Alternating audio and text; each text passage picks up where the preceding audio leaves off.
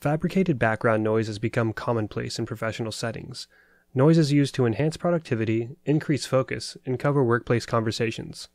Let's go over the common sound masking options available, starting with white noise.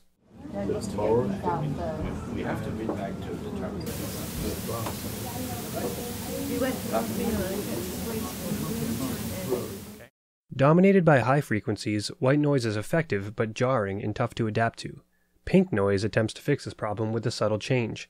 Let's listen.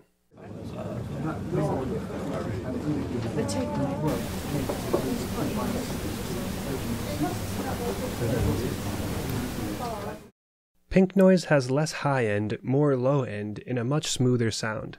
Nevertheless, still jarring for the ear and fatiguing over a long period of a workday. A sound masking spectrum becomes the logical next step, but has its own shortcomings.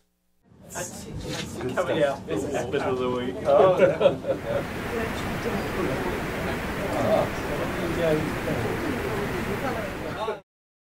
A sound masking spectrum definitely covers the frequency of speech more effectively, but still contains an unnatural sound that needs to be distributed at a high pressure. Our VSP2 eliminates these common pitfalls with a unique solution. Let's listen.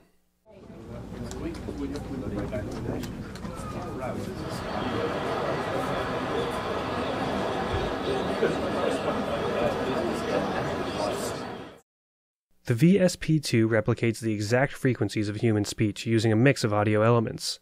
Choose between a blend of voice tones, environmental sounds, and sound effects.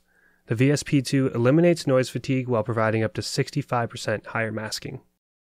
From all your friends here at Yamaha UC, thanks for watching.